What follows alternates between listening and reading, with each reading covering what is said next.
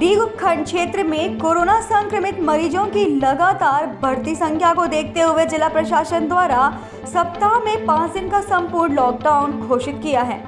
वहीं स्थानीय प्रशासन ने भी शक्ति दिखाई। इस दौरान उपखंड अधिकारी हेमंत कुमार के निर्देशन में कस्बे में बिना मास्क घूमने वाले लोगों के चलान भी काटे। उपखंड अधिकारी हेमंत कुमार ने बताया कि डीग में कस्बे सहित ग्रामीण क्षेत्रों में कोरोना के मरीज़ बढ़ रहे हैं। जिसके चलते कस्बे में संपूर्ण लॉकडाउन व ज़ीरो मोबिलिटी घोषित की गई है। उन्होंने बताया कि पूर्व में शनिवार और रविवार के अलावा सोमवार, मंगलवार व बुधवार को भी कोविड 19 के दौरान संक्रमित मरीजों के आंकड़ों के मद्देनजर कस्बे में संपूर्ण लॉकडाउन रहेगा। इस दौरान बिना मास्क घूमते और सरकार की गाइडलाइन का उल्लंघन करने वाले लोगों के कस्बे में चलान काटे गए।